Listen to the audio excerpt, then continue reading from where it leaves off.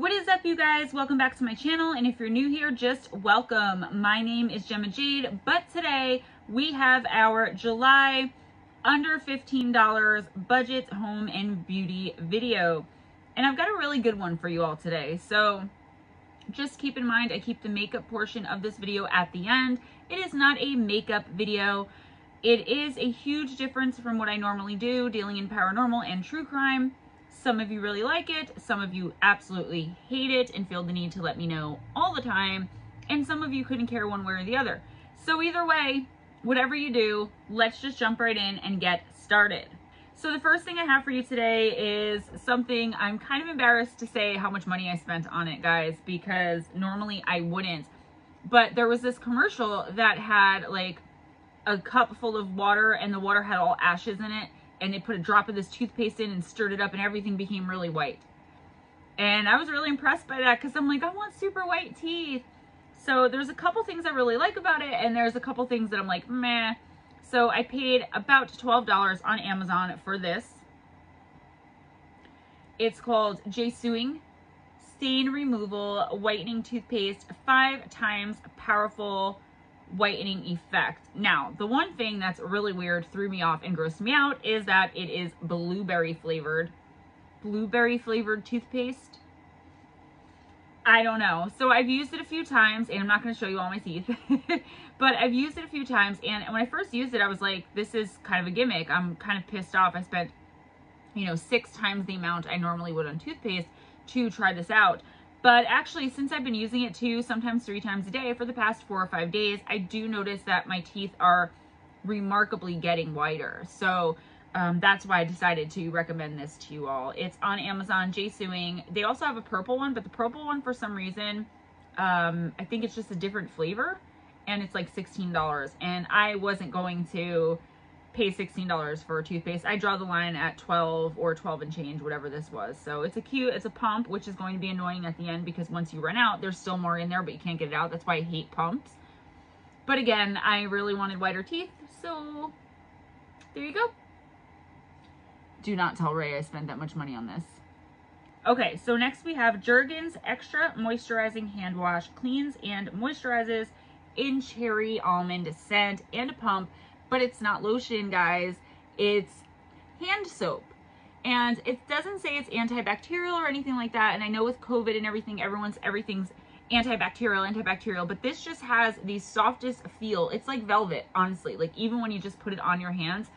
And any of you know that cherry almond Jergens lotion scent, that one of a kind smell that I just absolutely love. I found it in a hand soap that I got at the dollar store for a dollar and my hands feel really smooth and silky after I use it too. So I usually use this like after washing dishes or something like that. You know, when I want to use something antibacterial, I do. But when it's just for like a quick wash after, you know, cooking something or something like that, you know, this is great because it doesn't dry my hands out.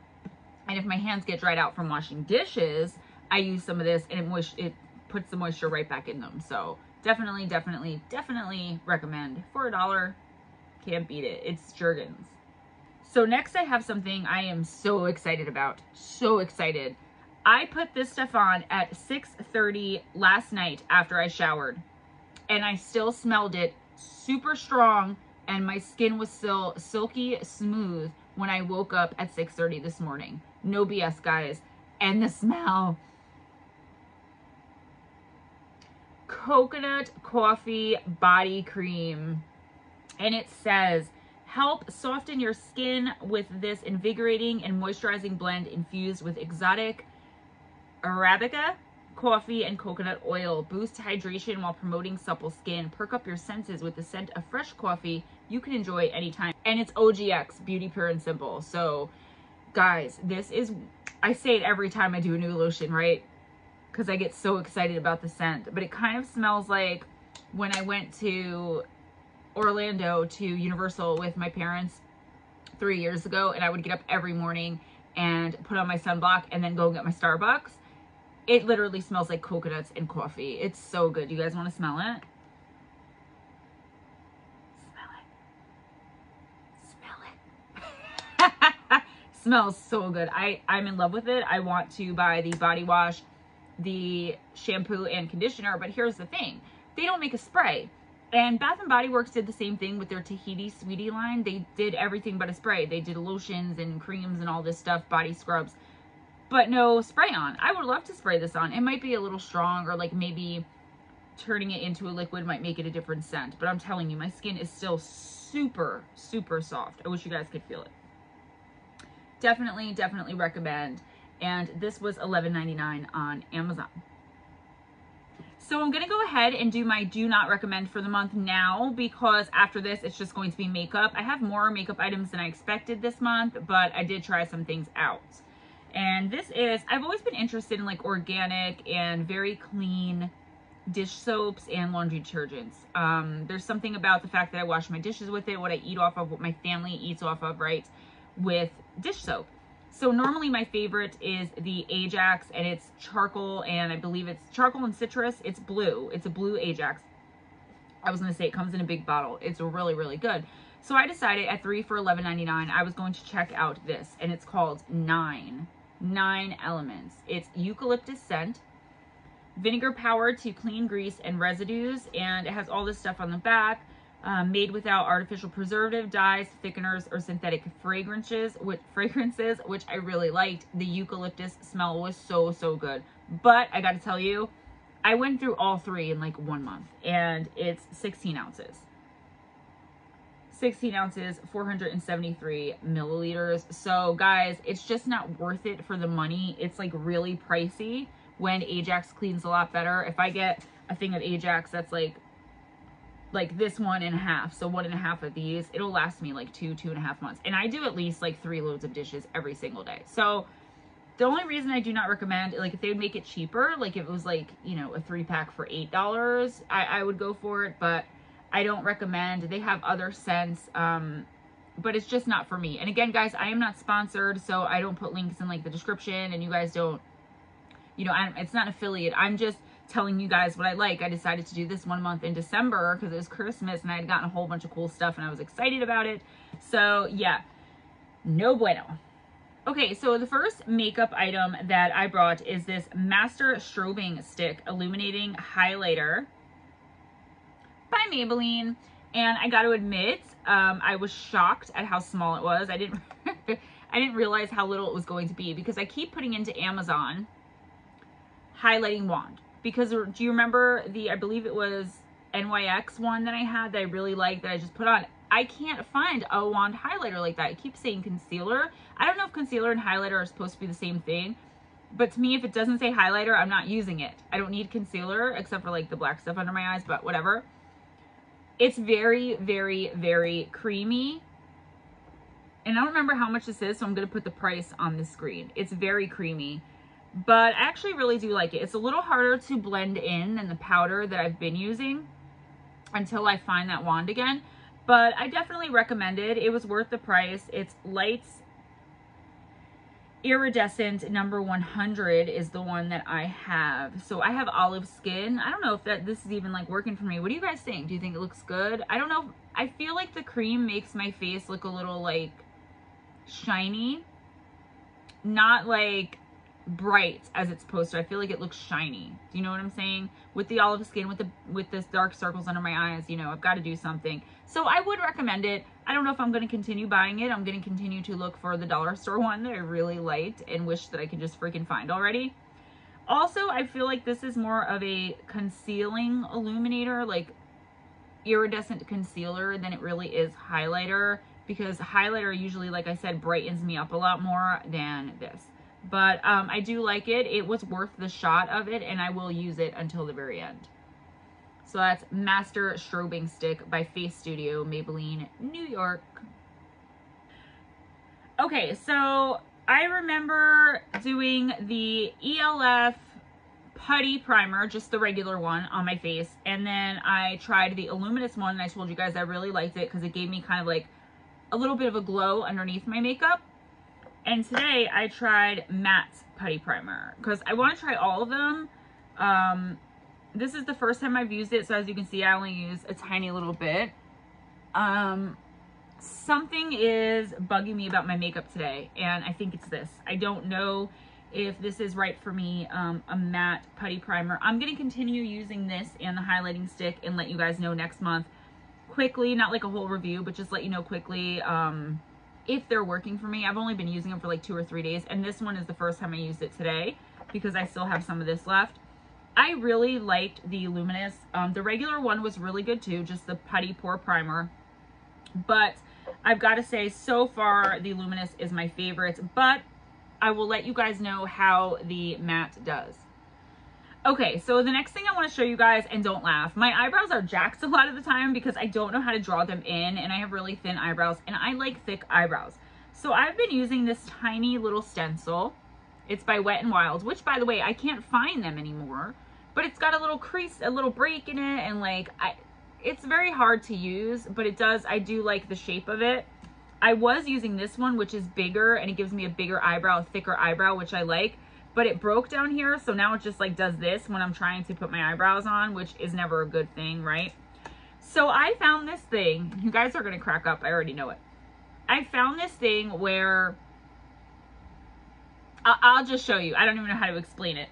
And it's crazy because the first night I used it Wednesday night, it worked so good for me. I absolutely loved it. I was like, yes, I finally found something that's going to help me with my eyebrows and it's going to be really great, but it ended up, I don't know, like, again, I'm going to have to, like, use this a few more times. I've used it, like, three times already. The first two times it worked great, and today when I'm filming, not so much. I don't know what that's all about, but it came in this bag, and it's called Cosmetic Accessories, I guess.